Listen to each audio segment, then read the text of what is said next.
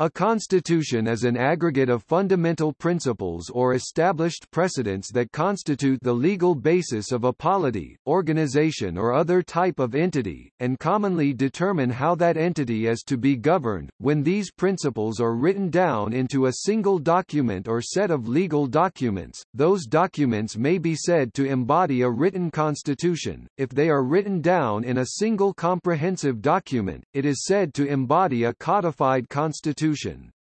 Some constitutions such as the Constitution of the United Kingdom are uncodified, but written in numerous fundamental acts of a legislature, court cases or treaties. Constitutions concern different levels of organizations, from sovereign countries to companies and unincorporated associations. A treaty which establishes an international organization is also its constitution, in that it would define how that organization is constituted. Within states, a constitution defines the principles upon which the state is based, the procedure in which laws are made and by whom. Some constitutions, especially codified constitutions, also act as limiters of state power, by establishing lines which a state's rulers cannot cross, such as fundamental rights. The Constitution of India is the longest written constitution of any country in the world, containing 444 articles in 22 parts, 12 schedules and 118 amendments, with 146,385 words in its English language version.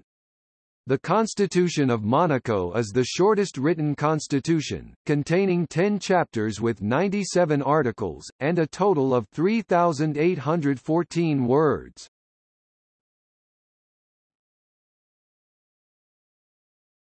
Topic. Etymology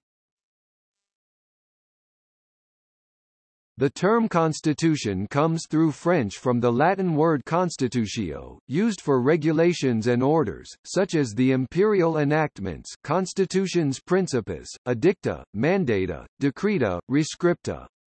Later, the term was widely used in canon law for an important determination, especially a decree issued by the Pope, now referred to as an apostolic constitution.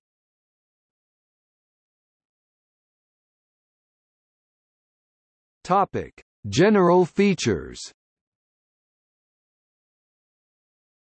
Generally, every modern written constitution confers specific powers to an organization or institutional entity, established upon the primary condition that it abide by the said constitution's limitations.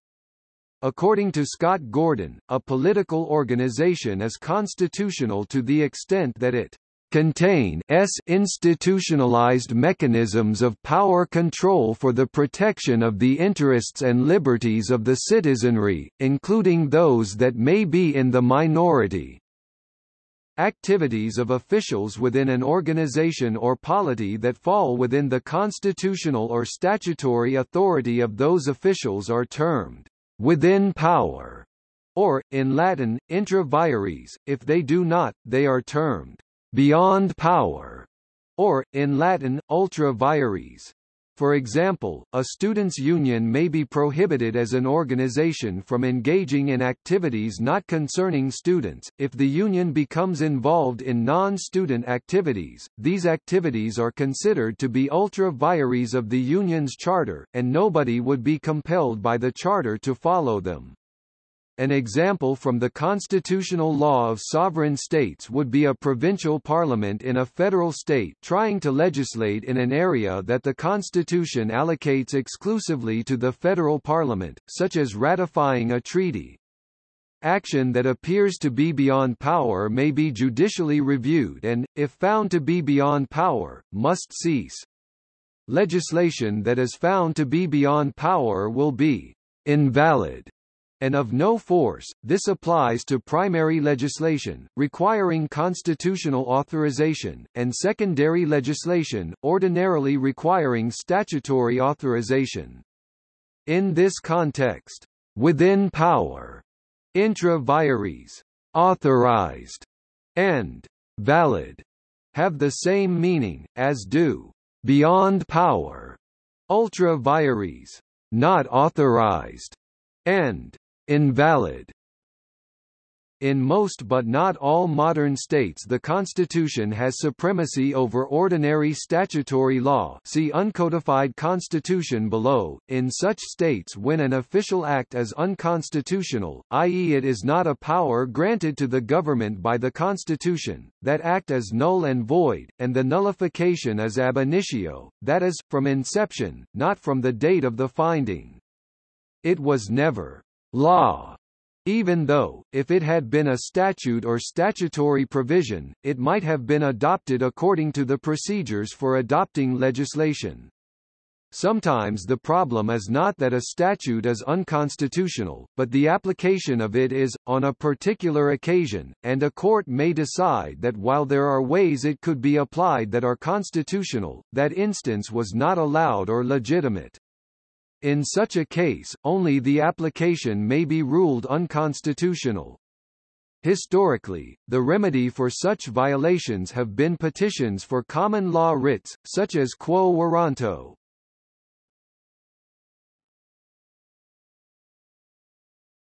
Topic: History and development.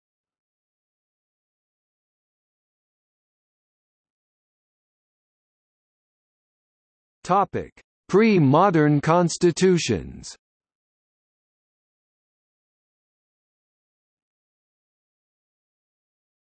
Topic: Ancient. Excavations in modern-day Iraq by Ernest de Sarzec in 1877 found evidence of the earliest known code of justice, issued by the Sumerian king Urukagina of Lagash ca. 2300 BC. Perhaps the earliest prototype for a law of government, this document itself has not yet been discovered, however it is known that it allowed some rights to his citizens. For example, it is known that it relieved tax for widows and orphans, and protected the poor from the usury of the rich. After that, many governments ruled by special codes of written laws. The oldest such document still known to exist seems to be the Code of Ur-Nammu of Ur ca 2050 BC. Some of the better-known ancient law codes include the Code of Lipit Ishtar of Isin, the Code of Hammurabi of Babylonia, the Hittite Code, the Assyrian Code and Mosaic Law. In 621 BC, a scribe named Draco codified the cruel oral laws of the city-state of Athens. This code prescribed the death penalty for many offences nowadays very severe rules are often called draconian. In 594 BC, Solon, the ruler of Athens, created the new Solonian constitution. It eased the burden of the workers, and determined that membership of the ruling class was to be based on wealth plutocracy, rather than by birth aristocracy. Cleisthenes again reformed the Athenian constitution and set it on a democratic footing in 508 BC. Aristotle ca 350 BC was the first to make a formal distinction between ordinary law and constitutional law, establishing ideas of constitution and constitutionalism, and attempting to classify different forms of constitutional government. The most basic definition he used to describe a constitution in general terms was, "...the arrangement of the offices in a state." In his works Constitution of Athens, Politics, and Nicomachean Ethics he explores different constitutions of his day, including those of Athens, Sparta, and Carthage. He classified both what he regarded as good and what he regarded as bad constitutions, and came to the conclusion that the best constitution was a mixed system, including monarchic, aristocratic, and democratic elements. He also distinguished between citizens, who had the right to participate in the state, and non-citizens and slaves, who did not. The Romans first codified their constitution in 450 BC as the Twelve Tables. They operated under a series of laws that were added from time to time, but Roman law was never reorganized into a single code until the Codex Theodosianus AD 438. Later, in the Eastern Empire the Codex Repetitae Praelectionis 534 was highly influential throughout Europe, this was followed in the east by the Ecloga of Leo III the Isaurian 740 and the Basilica of Basil I 878. The Edicts of Ashoka established constitutional principles for the 3rd century BC Maurya king's rule in ancient India. For constitutional principles almost lost to antiquity, see the Code of Manu.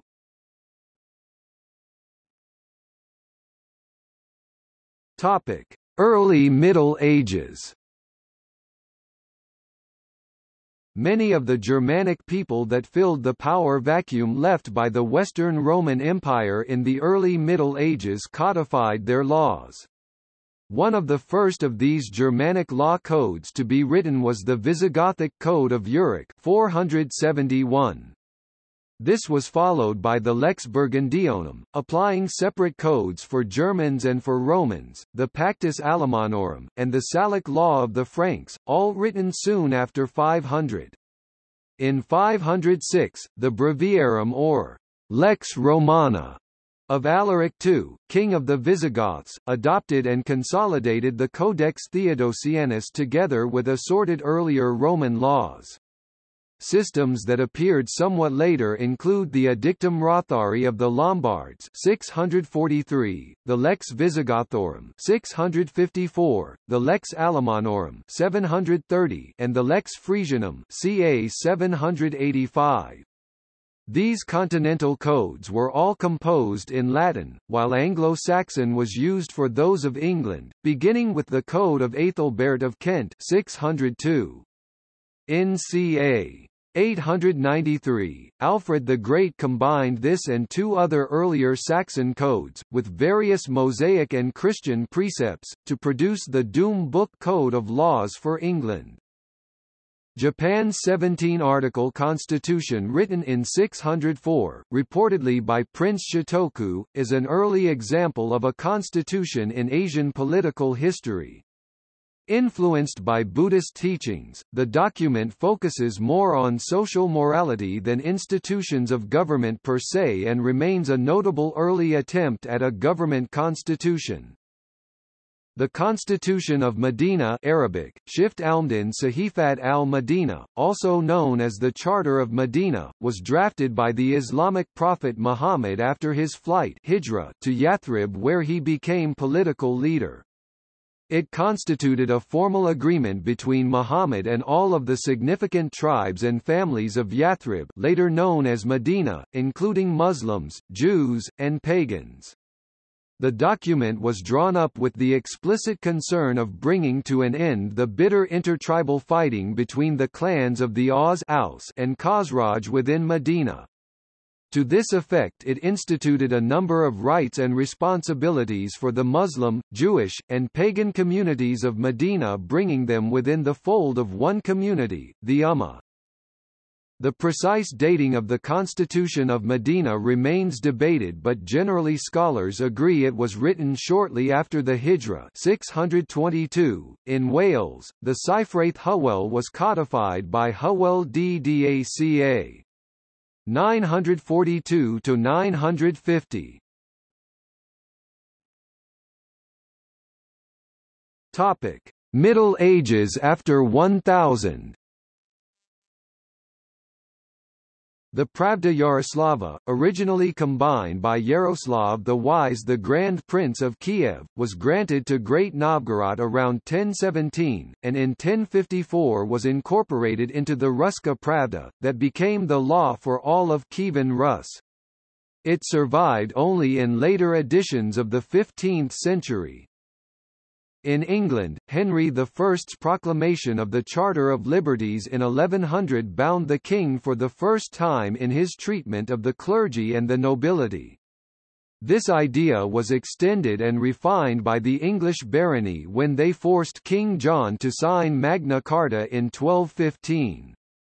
the most important single article of the Magna Carta, related to habeas corpus, provided that the king was not permitted to imprison, outlaw, exile or kill anyone at a whim, there must be due process of law first. This article, Article 39, of the Magna Carta read, no free man shall be arrested, or imprisoned, or deprived of his property, or outlawed, or exiled, or in any way destroyed, nor shall we go against him or send against him, unless by legal judgment of his peers, or by the law of the land. This provision became the cornerstone of English liberty after that point. The social contract in the original case was between the king and the nobility, but was gradually extended to all of the people. It led to the system of constitutional monarchy, with further reforms shifting the balance of power from the monarchy and nobility to the House of Commons. The Nomocanon of Saint Sava Serbian, Zakonopravilo was the first Serbian constitution from 1219. This legal act was well developed. Saint Sava's Nomocanon was the compilation of civil law, based on Roman law and canon law, based on ecumenical councils and its basic purpose was to organize functioning of the young Serbian kingdom and the Serbian Church. Saint Sava began the work on the Serbian Nomocanon in 1208 while being at Mount Athos, using the Nomocanon in 14 titles, Synopsis of Stephen the Ephesian, Nomocanon of John Scholasticus, Ecumenical Councils documents, which he modified with the canonical commentaries of Aristinos and Joannes Zonaras, local church meetings, rules of the Holy Fathers, the Law of Moses, translation of Prohieron and the Byzantine emperor's novella novelli most were taken from Justinian's novelli.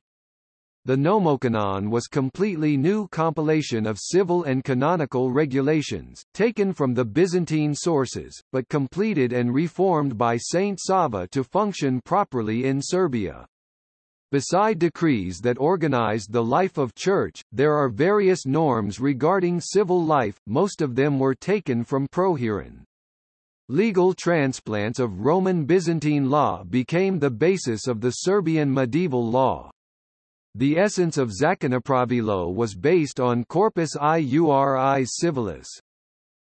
Stefan Dusan, Emperor of Serbs and Greeks, enacted Dusan's Code Serbian, Dusanov Zakonik Dusanov Zakonik in Serbia, in two state congresses, in 1349 in Skopje and in 1354 in Ser. It regulated all social spheres, so it was the second Serbian constitution, after Saint Sava's Nomocanon The code was based on Roman Byzantine law. The legal transplanting is notable with the Articles 171 and 172 of Dusan's Code, which regulated the juridical independence. They were taken from the Byzantine Code Basilica Book 7, 1, 16-17. In 1222, Hungarian King Andrew II issued the Golden Bull of 1222. Between 1220 and 1230, a Saxon administrator, Eike von Repgow, composed the Sachsenspiegel, which became the supreme law used in parts of Germany as late as 1900.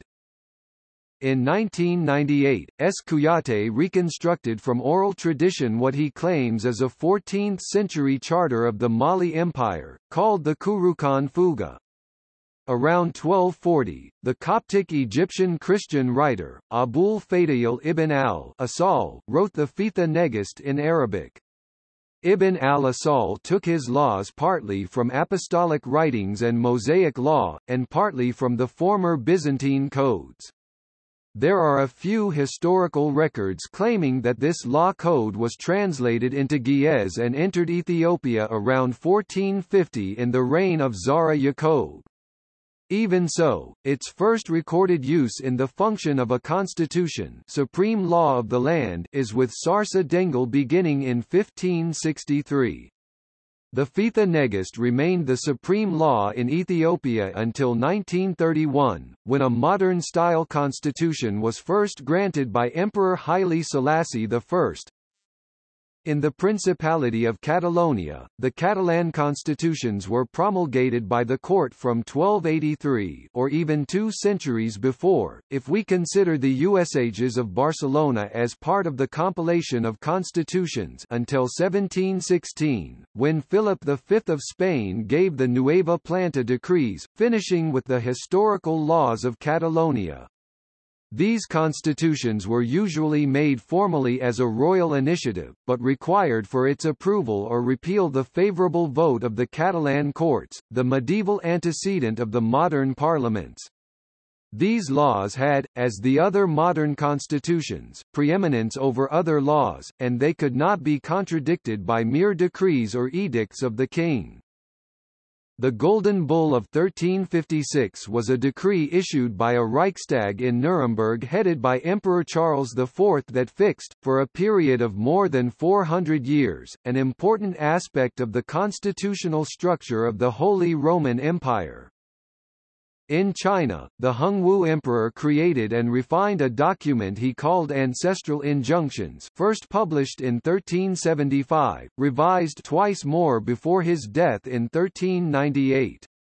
These rules served in a very real sense as a constitution for the Ming dynasty for the next 250 years. The oldest written document still governing a sovereign nation today is that of San Marino. The Leges Statutae Republicae Sancti Marini was written in Latin and consists of six books. The first book, with 62 articles, establishes councils, courts, various executive officers and the powers assigned to them. The remaining books cover criminal and civil law, judicial procedures and remedies. Written in 1600, the document was based upon the Statuti Comunali town statute of 1300, itself influenced by the Codex Justinianus, and it remains in force today. In 1392 the Carta de Logu was legal code of the Judicato of Arborea promulgated by the Judicessa Eleanor. It was in force in Sardinia until it was superseded by the Code of Charles Felix in April 1827. The Carta was a work of great importance in Sardinian history. It was an organic, coherent, and systematic work of legislation encompassing the civil and penal law.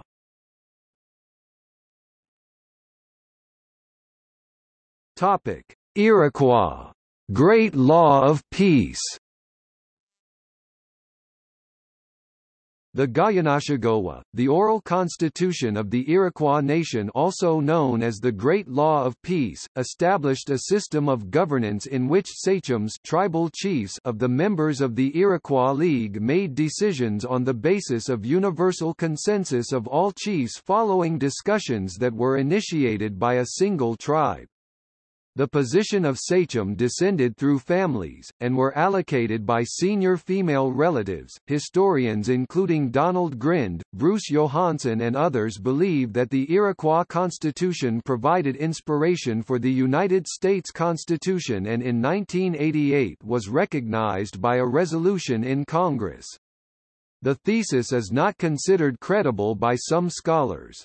Stanford University historian Jack N. Rakove stated that the voluminous records we have for the constitutional debates of the late 1780s contain no significant references to the Iroquois, and stated that there are ample European precedents to the democratic institutions of the United States.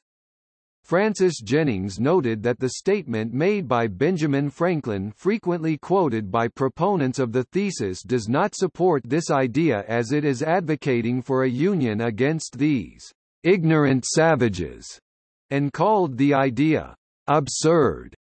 Bruce Johansen contends Jennings, Tooker etc. have humorlessly missed the ironic nature of Franklin's statement, and persist in ignoring the relevant sources.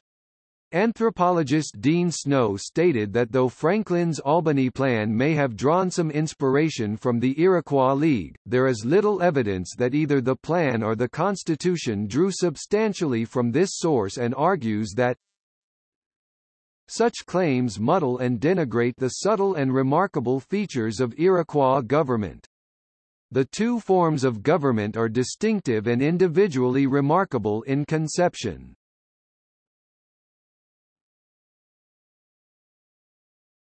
Topic: Modern constitutions. In 1639, the colony of Connecticut adopted the Fundamental Orders, which was the first North American constitution, and is the basis for every new Connecticut constitution since, and is also the reason for Connecticut's nickname, the Constitution State.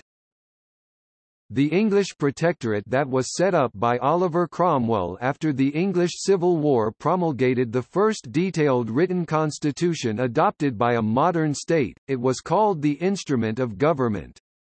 This formed the basis of government for the short-lived republic from 1653 to 1657 by providing a legal rationale for the increasing power of Cromwell, after Parliament consistently failed to govern effectively.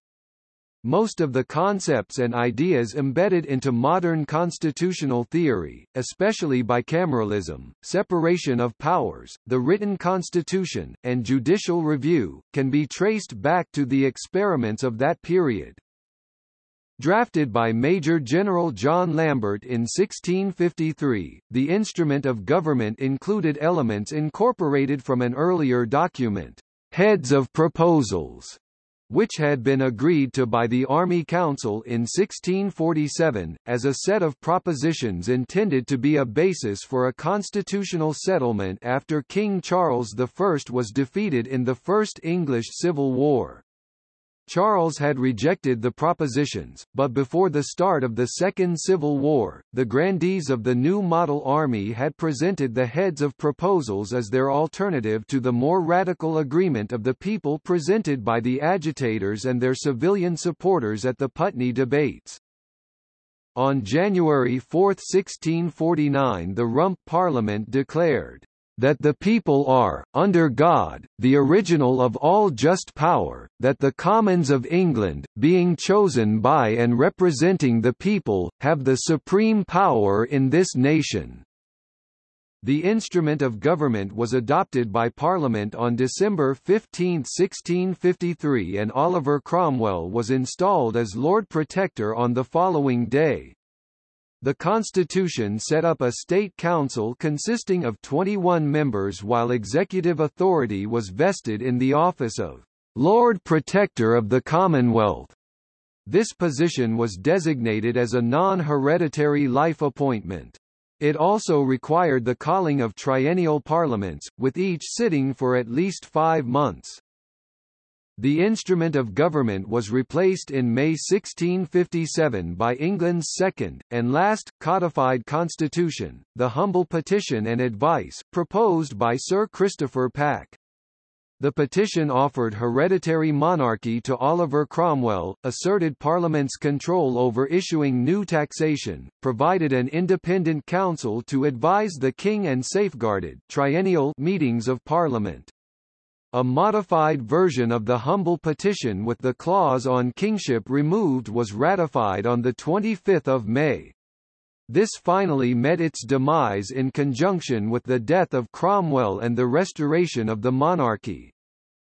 Other examples of European constitutions of this era were the Corsican Constitution of 1755 and the Swedish Constitution of 1772.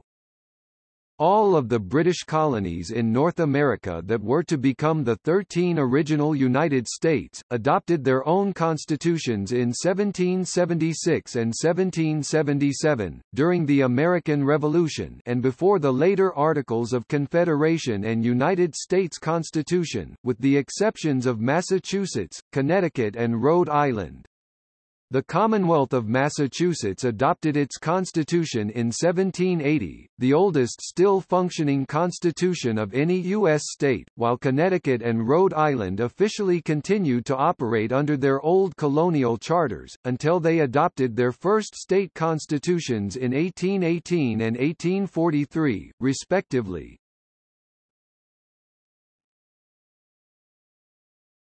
Topic. Democratic constitutions What is sometimes called the enlightened constitution model was developed by philosophers of the Age of Enlightenment such as Thomas Hobbes, Jean-Jacques Rousseau, and John Locke. The model proposed that constitutional governments should be stable, adaptable, accountable, open and should represent the people i.e., support democracy. Agreements and constitutions of laws and freedoms of the Zaporizhian host was written in 1710 by Pylyp Orlyk, hetman of the Zaporozhian host. It was written to establish a free Zaporozhian Ukrainian Republic, with the support of Charles XII of Sweden. It is notable in that it established a democratic standard for the separation of powers in government between the legislative, executive, and judiciary branches, well before the publication of Montesquieu's Spirit of the Laws. This constitution also limited the executive authority of the hetman, and established a democratically elected Cossack parliament called the General Council. However, Orlyk's project for an independent Ukrainian state never materialized, and his constitution, written in exile, never went into effect. Corsican constitutions of 1755 and 1794 were inspired by Jean-Jacques Rousseau. The latter introduced universal suffrage for property owners. The United States Constitution, ratified June 21, 1788, was influenced by the writings of Polybius, Locke, Montesquieu, and others. The document became a benchmark for republicanism and codified constitutions written thereafter. The Polish-Lithuanian Commonwealth Constitution was passed on May 3, 1791. Its draft was developed by the leading minds of the Enlightenment in Poland such as King Stanislaw August Poniatowski, Stanislaw Staszic, Scipione Piattoli, Julian Ursin Niemcewicz, Ignacy Potocki and Hugo Kołłątaj.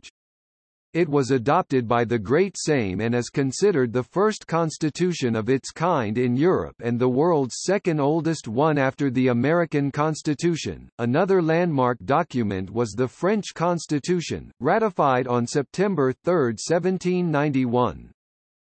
On March 19, the Spanish Constitution of 1812 was ratified by a parliament gathered in Cadiz, the only Spanish continental city which was safe from French occupation.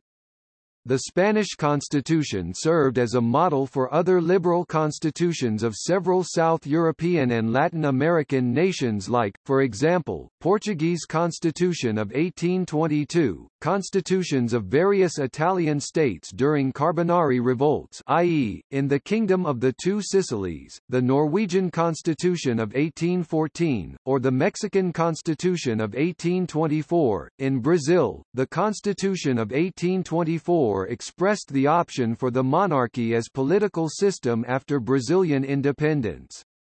The leader of the national emancipation process was the Portuguese prince Pedro I, elder son of the King of Portugal.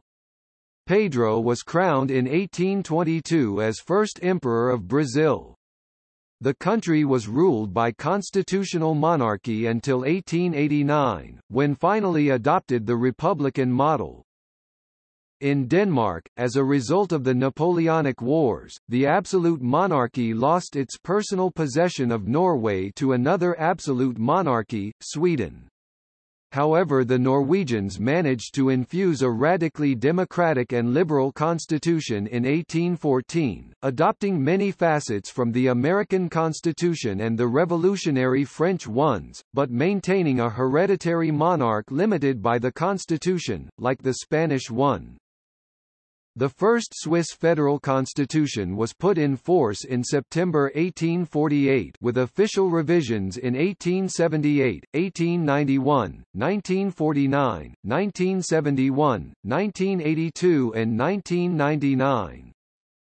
The Serbian Revolution initially led to a proclamation of a proto-constitution in 1811. The full-fledged Constitution of Serbia followed few decades later, in 1835. The first Serbian constitution Ustav was adopted at the National Assembly in Kragujevac on February 15, 1835. The Constitution of Canada came into force on July 1, 1867 as the British North America Act, an act of the British Parliament. Over a century later, the BNA Act was patriated to the Canadian Parliament and augmented with the Canadian Charter of Rights and Freedoms. Apart from the Constitution Acts, 1867 to 1982, Canada's constitution also has unwritten elements based in common law and convention.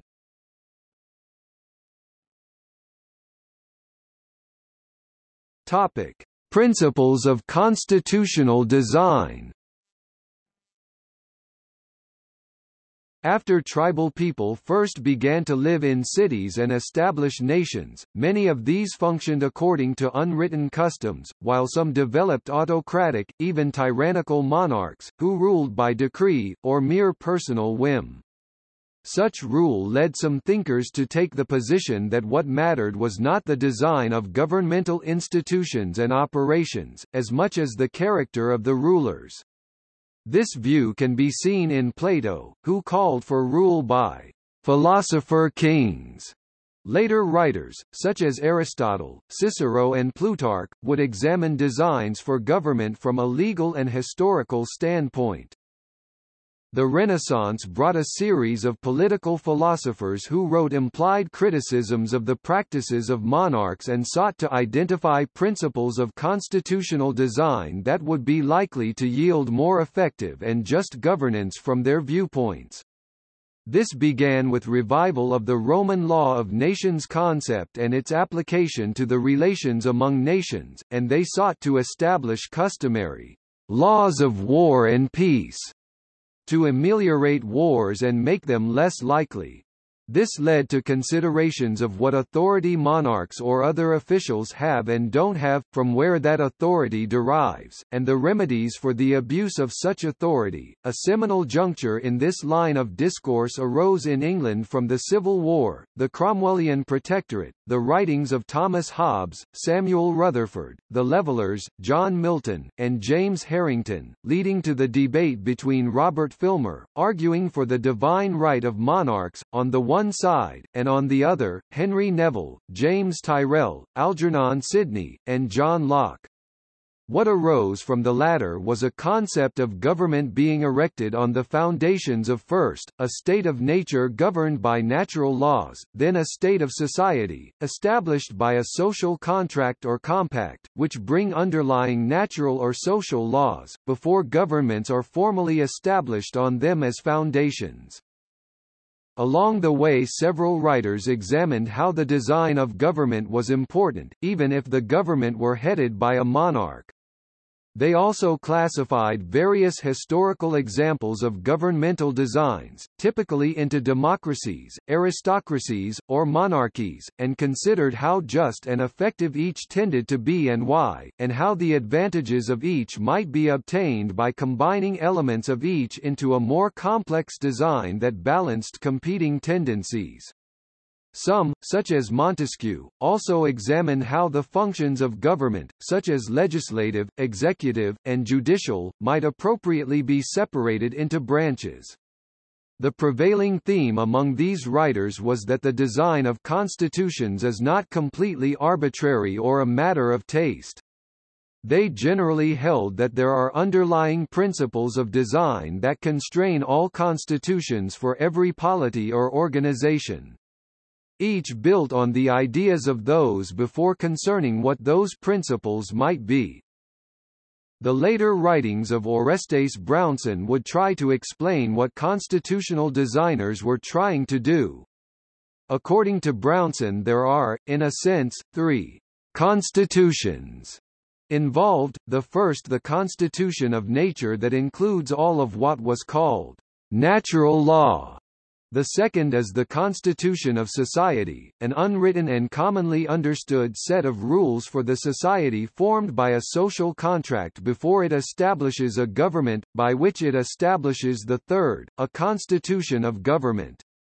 The second would include such elements as the making of decisions by public conventions called by public notice and conducted by established rules of procedure. Each constitution must be consistent with, and derive its authority from, the ones before it, as well as from a historical act of society formation or constitutional ratification.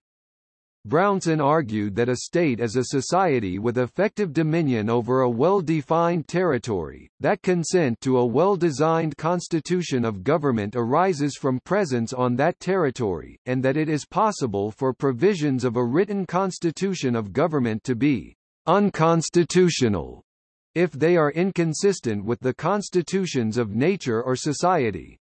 Brownson argued that it is not ratification alone that makes a written constitution of government legitimate, but that it must also be competently designed and applied. Other writers have argued that such considerations apply not only to all national constitutions of government, but also to the constitutions of private organizations, that it is not an accident that the constitutions that tend to satisfy their members contain certain elements, as a minimum, or that their provisions tend to become very similar as they are amended after experience with their use. Provisions that give rise to certain kinds of questions are seen to need additional provisions for how to resolve those questions, and provisions that offer no course of action may best be omitted and left to policy decisions. Provisions that conflict with what Brownson and others can discern are the underlying constitutions of nature and society tend to be difficult or impossible to execute, or to lead to unresolvable disputes. Constitutional design has been treated as a kind of metagame in which play consists of finding the best design and provisions for a written constitution that will be the rules for the game of government, and that will be most likely to optimize a balance of the utilities of justice, liberty, and security. An example is the metagame Nomic. Political economy theory regards constitutions as coordination devices that help citizens to prevent rulers from abusing power. If the citizenry can coordinate a response to police government officials in the face of a constitutional fault, then the government have the incentives to honor the rights that the Constitution guarantees. An alternative view considers that constitutions are not enforced by the citizens at large, but rather by the administrative powers of the state. Because rulers cannot themselves implement their policies, they need to rely on a set of organizations armies, courts, police agencies, tax collectors to implement it. In this position, they can directly sanction the government by refusing to cooperate, disabling the authority of the rulers. Therefore, constitutions could be characterized by a self-enforcing equilibria between the rulers and powerful administrators.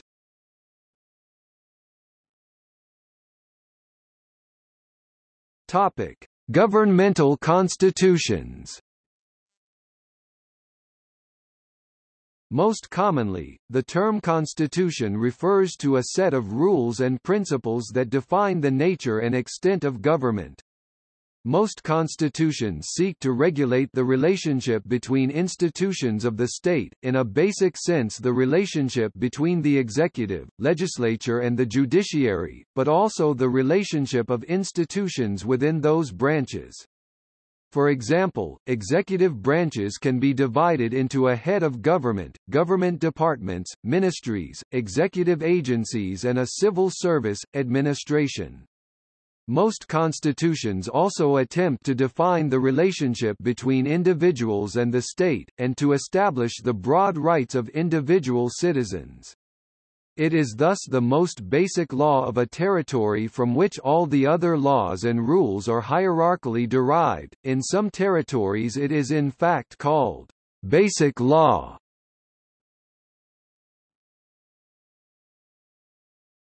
Topic: Key features The following are features of democratic constitutions that have been identified by political scientists to exist, in one form or another, in virtually all national constitutions.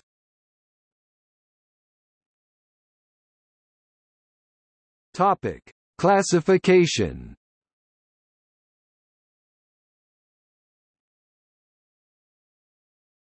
Topic: Codification. A fundamental classification is codification or lack of codification. A codified constitution is one that is contained in a single document, which is the single source of constitutional law in a state.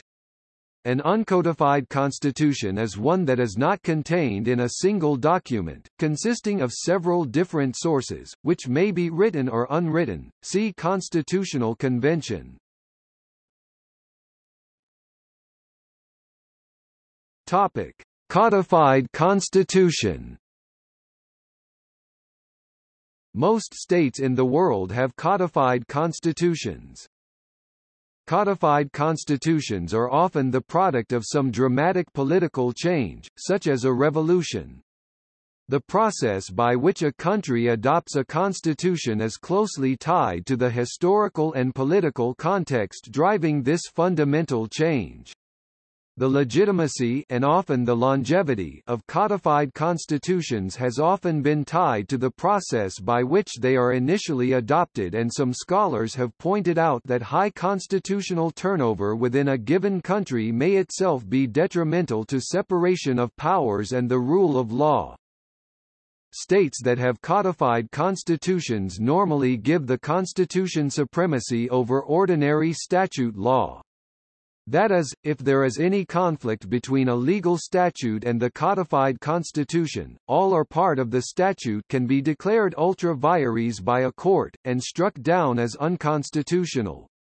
In addition, exceptional procedures are often required to amend a constitution.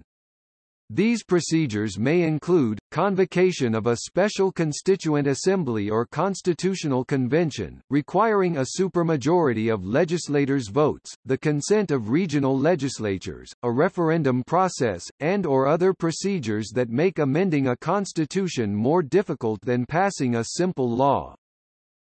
Constitutions may also provide that their most basic principles can never be abolished, even by amendment. In case a formally valid amendment of a constitution infringes these principles protected against any amendment, it may constitute a so-called unconstitutional constitutional law.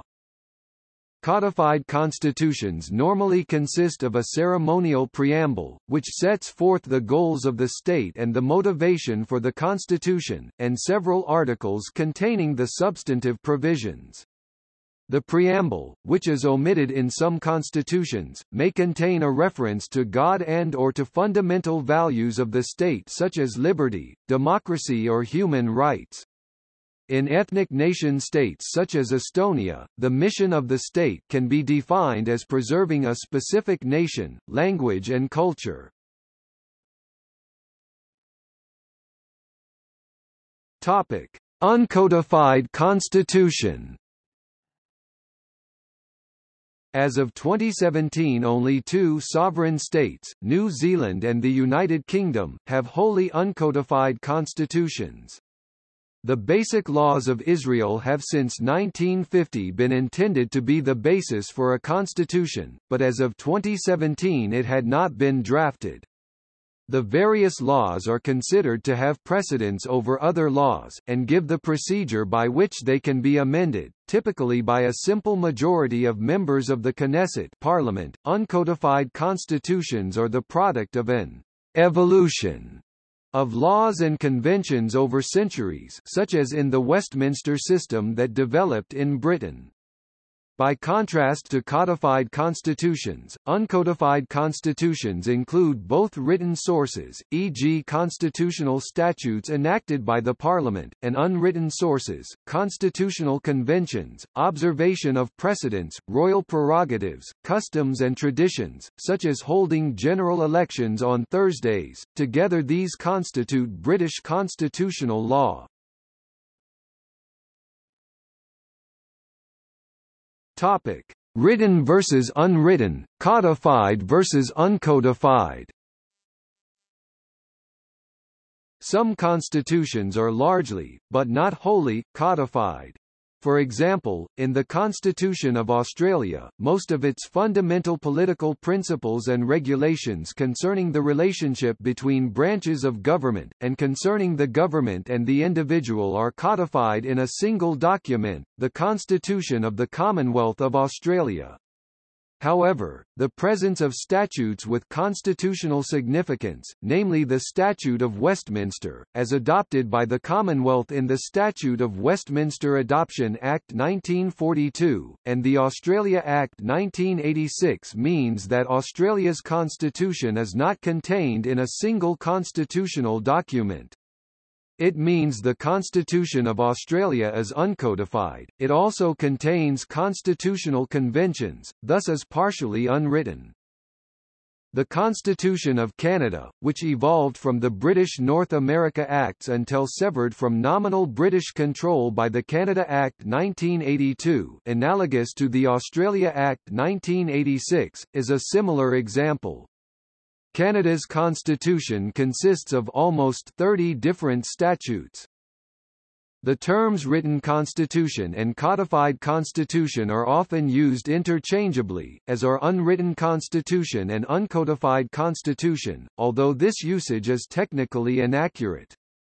A codified constitution is a single document, states that do not have such a document have uncodified, but not entirely unwritten, constitutions, since much of an uncodified constitution is usually written in laws such as the Basic Laws of Israel and the Parliament Acts of the United Kingdom. Uncodified constitutions largely lack protection against amendment by the government of the time. For example, the UK Fixed Term Parliaments Act 2011 legislated by simple majority for strictly fixed-term parliaments, until then the ruling party could call a general election at any convenient time up to the maximum term of five years.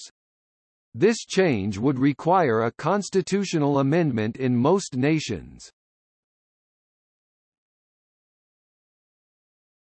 Topic. Entrenchment The presence or lack of entrenchment is a fundamental feature of constitutions. An entrenched constitution cannot be altered in any way by a legislature as part of its normal business concerning ordinary statutory laws, but can only be amended by a different and more onerous procedure. There may be a requirement for a special body to be set up, or the proportion of favorable votes of members of existing legislative bodies may be required to be higher to pass a constitutional amendment than for statutes. The entrenched clauses of a constitution can create different degrees of entrenchment, ranging from simply excluding constitutional amendment from the normal business of a legislature, to making certain amendments either more difficult than normal modifications, or forbidden under any circumstances. Entrenchment is an inherent feature in most codified constitutions.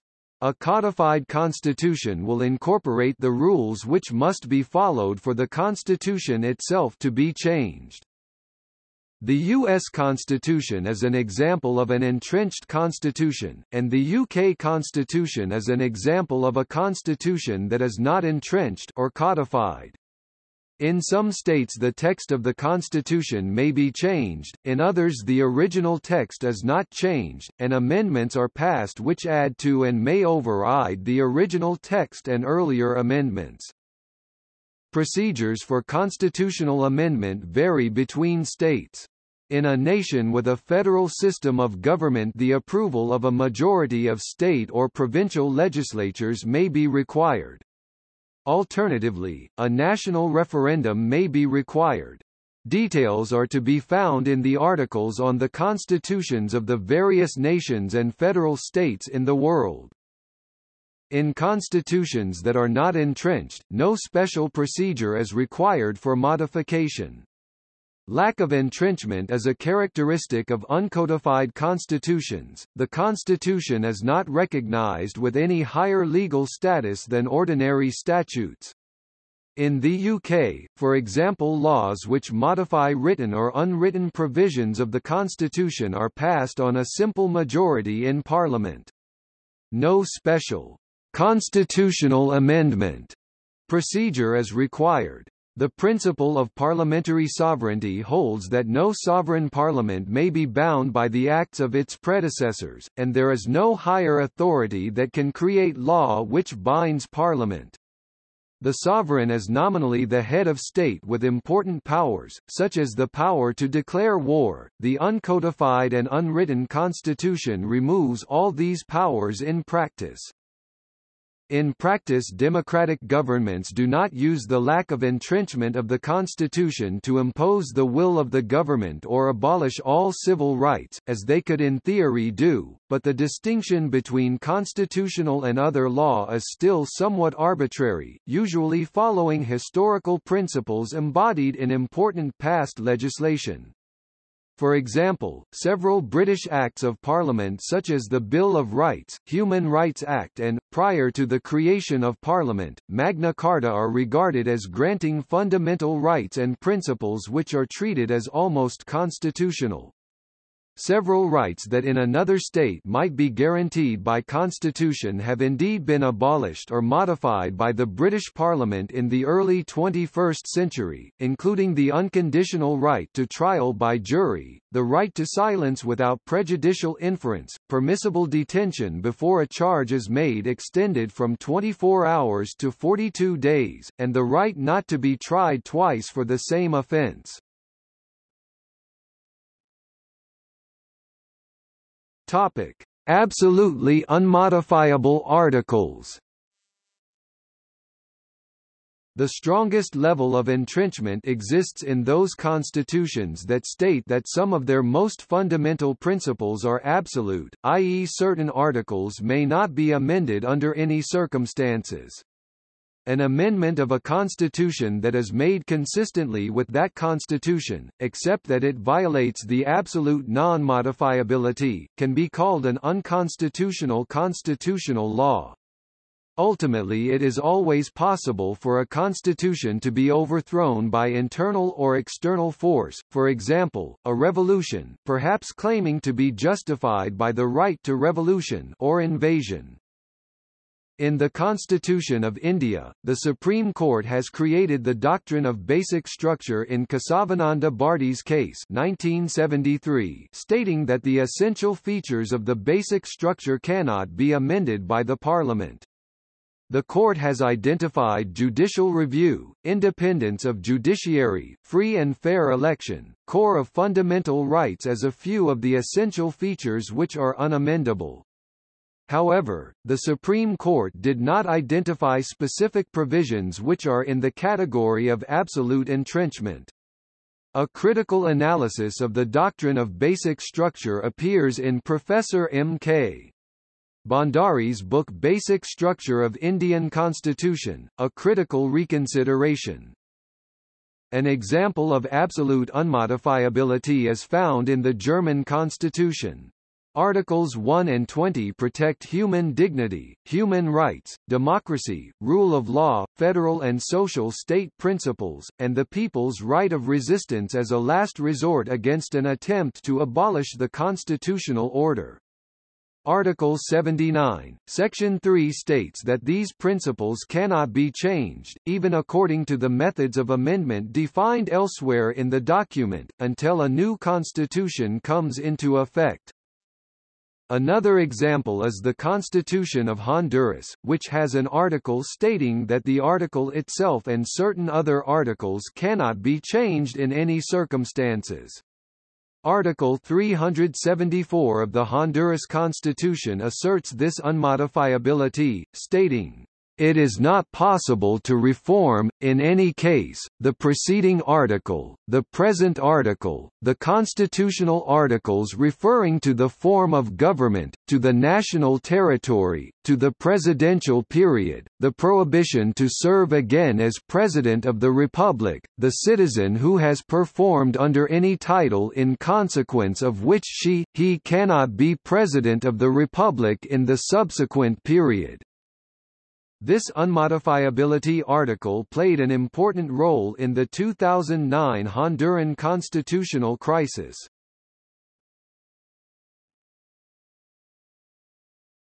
Topic: Distribution of sovereignty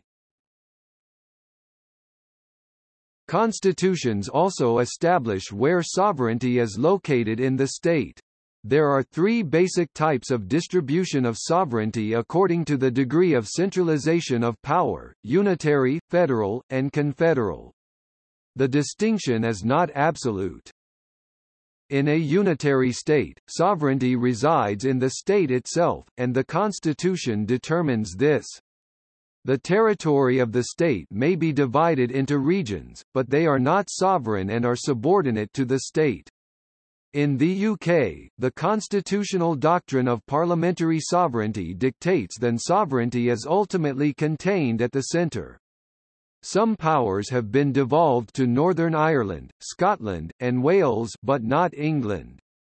Some unitary states Spain as an example devolve more and more power to sub-national governments until the state functions in practice much like a federal state. A federal state has a central structure with at most a small amount of territory mainly containing the institutions of the federal government, and several regions called states, provinces, etc. which compose the territory of the whole state.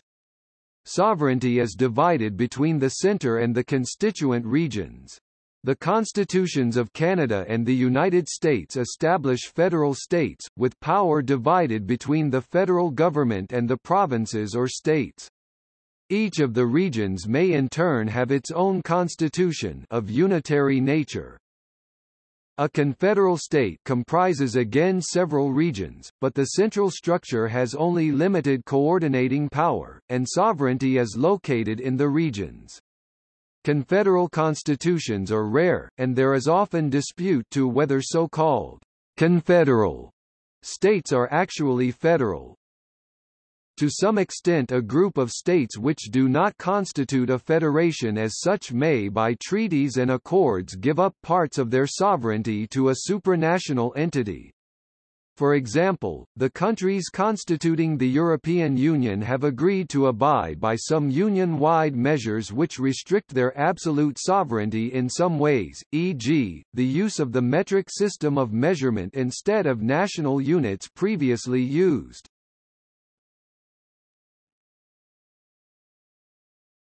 Topic: Separation of powers. Constitutions usually explicitly divide power between various branches of government. The standard model, described by the Baron de Montesquieu, involves three branches of government, executive, legislative and judicial. Some constitutions include additional branches, such as an auditory branch. Constitutions vary extensively as to the degree of separation of powers between these branches.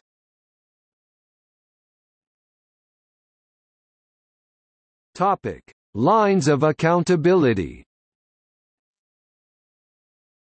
In presidential and semi-presidential systems of government, department secretaries, ministers are accountable to the president, who has patronage powers to appoint and dismiss ministers. The President is accountable to the people in an election. In parliamentary systems, cabinet ministers are accountable to Parliament, but it is the Prime Minister who appoints and dismisses them. In the case of the United Kingdom and other countries with a monarchy, it is the monarch who appoints and dismisses ministers, on the advice of the Prime Minister. In turn the Prime Minister will resign if the government loses the confidence of the Parliament or a part of it. Confidence can be lost if the government loses a vote of no confidence or, depending on the country, loses a particularly important vote in Parliament, such as vote on the budget. When a government loses confidence, it stays in office until a new government is formed, something which normally but not necessarily required the holding of a general election.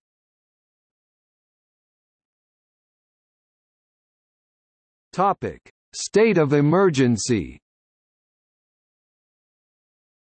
Many constitutions allow the declaration under exceptional circumstances of some form of state of emergency during which some rights and guarantees are suspended. This provision can be and has been abused to allow a government to suppress dissent without regard for human rights. See the article on state of emergency.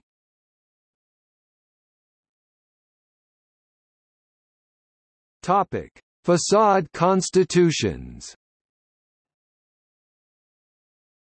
Italian political theorist Giovanni Sartori noted the existence of national constitutions which are a facade for authoritarian sources of power. While such documents may express respect for human rights or establish an independent judiciary, they may be ignored when the government feels threatened, or never put into practice. An extreme example was the Constitution of the Soviet Union that on paper supported freedom of assembly and freedom of speech, however, citizens who transgressed unwritten limits were summarily imprisoned. The example demonstrates that the protections and benefits of a constitution are ultimately provided not through its written terms but through deference by government and society to its principles. A constitution may change from being real to a facade and back again as democratic and autocratic governments succeed each other.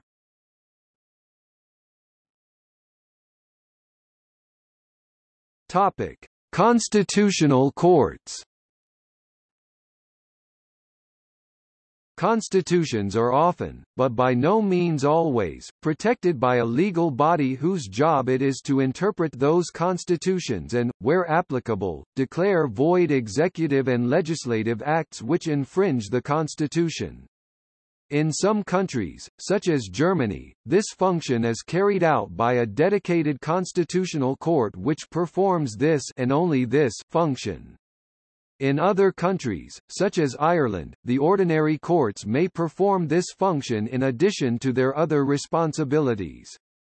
While elsewhere, like in the United Kingdom, the concept of declaring an act to be unconstitutional does not exist.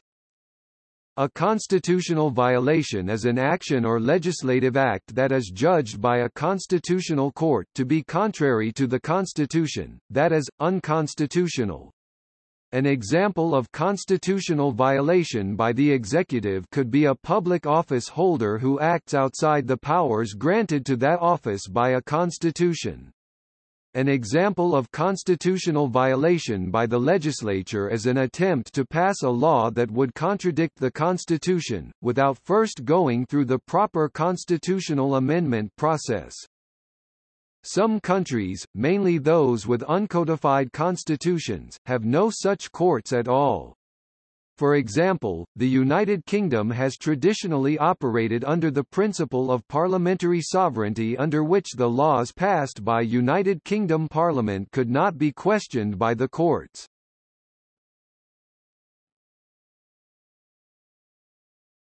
Topic. See also Basic law, equivalent in some countries, often for a temporary constitution. Apostolic Constitution a class of Catholic Church documents. Constitution of the Roman Republic. Constitutional Amendment. Constitutional Court. Constitutional Crisis. Constitutional Economics. Constitutionalism Corporate constitutional documents International constitutional law Judicial activism Judicial restraint Judicial review Philosophy of law Rule of law Rule according to higher law judicial philosophies of constitutional interpretation. Note, generally specific to United States constitutional law List of national constitutions. Originalism. Strict constructionism. Textualism. Proposed European Union Constitution. Treaty of Lisbon. Adopts same changes, but without constitutional name. United Nations Charter